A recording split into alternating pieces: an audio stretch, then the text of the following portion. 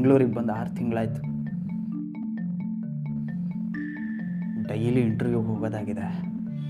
ಕೆಲಸ ಮಾತ್ರ ಒಂದು ಕಡೆನೂ ಸಿಗ್ತಾ ಇಲ್ಲ.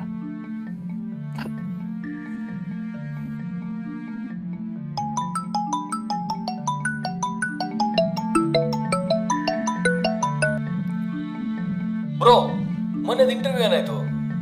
ಇನ್ನೇನಾಗಬೇಕು ಗುರು? ಅದೇ ಮಾಮೂಲಿ.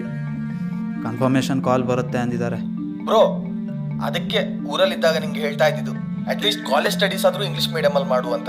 ಈಗ ನೀನೇ ಸ್ಟ್ರಗಲ್ ಮಾಡ್ತಾ ಇದೀಯ ನೋಡು ಬೇಕಿತ್ತ ನಿಂಗಿದು? ಹಲೋ ತೆಗಿಯೋ ಮಾರ್ಕ್ಸ್ ಇಂಪಾರ್ಟೆಂಟೇ ಹೊರತು ಆ ಮಾರ್ಕ್ಸ್ ಯಾವ ಮೀಡಿಯಮಿಂದ ಬಂತು ಅನ್ನೋದಲ್ಲ ಗೊತ್ತಾಯ್ತಾ?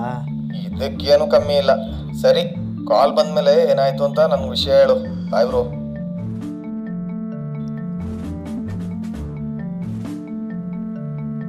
ಇಷ್ಟೊತ್ತಿಗಾಗಲೇ ಕಾಲ್ ಬರಬೇಕಿತ್ತಲ್ಲ. ನಾನೇ ಮಾಡಿಬಿಡ್ತೀನಿ.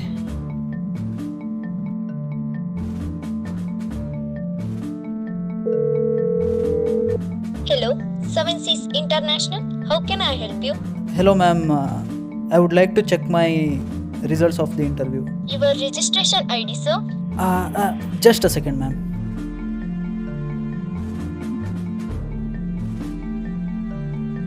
ಹಾಂ ma'am sorry sir your application has been rejected ಏನೋ?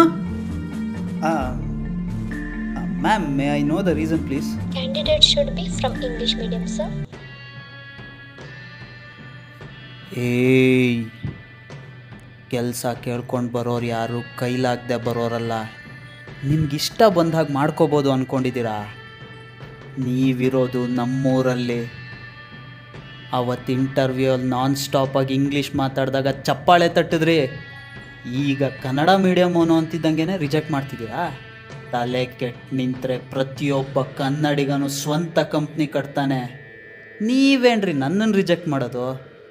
ನಾನೇ ನಿಮ್ಮ ಕಂಪ್ನಿಲಿ ಕೆಲಸ ಮಾಡಲ್ಲ. ಗೆಟ್ ಲಾಸ್ಟ್ ನನಗೆ ಯಾವನ್ ಕೆಲಸ ಕೊಡೋದು ಬೇಕಾಗಿಲ್ಲ?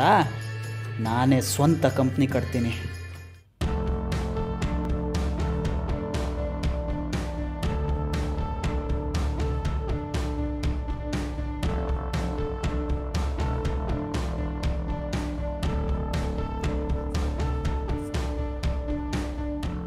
Bro I have lost my job bro.